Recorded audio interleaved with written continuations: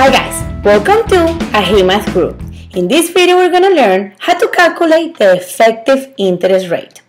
So what is the effective interest rate? Well, this is when you compound by periods the nominal rate.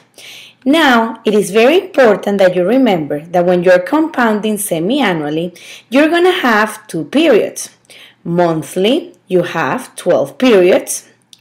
Quarterly, 4 periods, and this is per year. And daily, you're literally doing it 365 periods. So, this is the formula.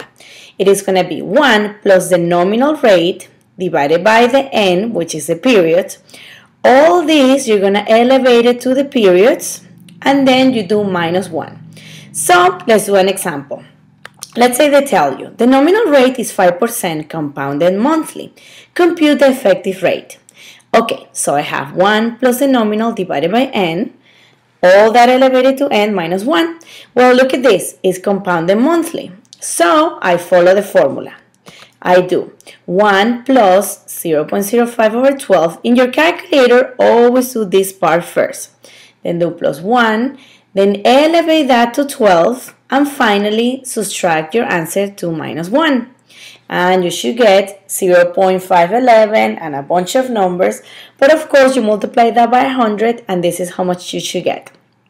Let's do another exercise.